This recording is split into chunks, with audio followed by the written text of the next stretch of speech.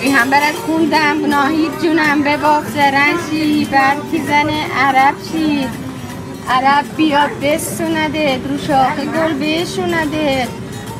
صبح صبح بیاد نگاه کنه دو تا بوس به اون لپات کنه تو خوبه قیش خانم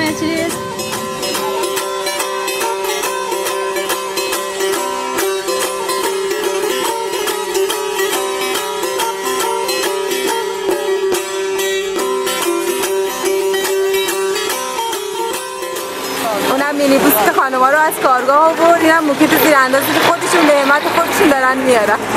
خیلی خوش آمدید. کمک می‌خوای؟ عزیزم. گوشش تغییر داده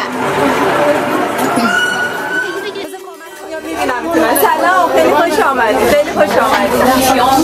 خیلی قربون قدمتون بفرمایید تا بقیه خانم‌ها هم برسن. مرسی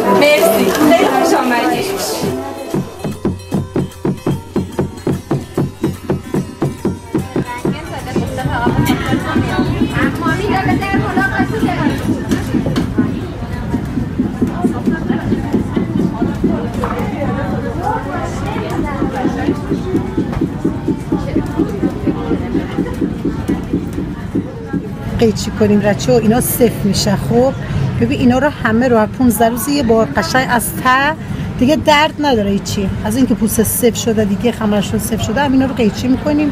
با ناخونگیر از ته می‌زنیم قیچی می‌کنیم. دوباره هم که پماد می‌زنیم تا شنبه میام چند سال قالی بافی؟ من از بچگی تا حالا. از ساعت از دوازده سالگی نشستم قالی باف شدم تا بچگی بودیم رو تخته نشستیم تا حالا قالی میبافیم شما چند سال قالی میبافتی؟ من دیگه دست به قول ما دست چپ راستمون که یا چیز بوده می‌دونستم دیگه روی قالی می‌کردن اول رو چوب انداختن برون میبافتن بعدش دیگه ریشه یاد گرفته ایم و نقشه و اینا رو که بهمون گفتن یه چه بگید یعنی برو. چند سالی؟ تقریبا یه هفت تو هفت سالگی دیگه به بعد پشت قالی بودن یعنی مامانم میگه 6 سالت بوده رو قالی بودی که مثلا چاله پر می‌کردم 6 سالگی دیگه هفت سالگی اینا بعد دیگه نقشه و اینا یاد گرفته ایم و تا حالا بافتیم دیگه.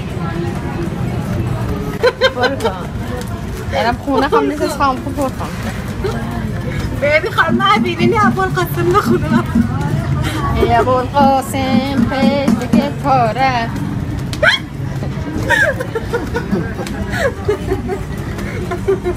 نکه حسین شام میورده Sampai muda nih.